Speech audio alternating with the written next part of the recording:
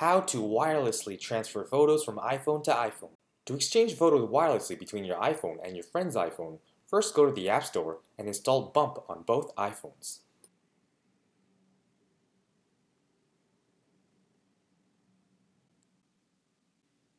Open Bump.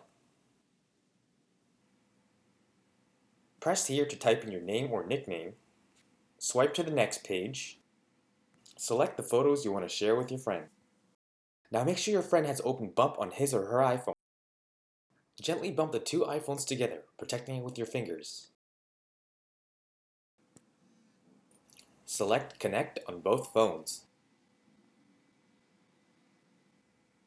And there it is. You can also text each other. And this is how you exchange photos wirelessly. Thanks for watching.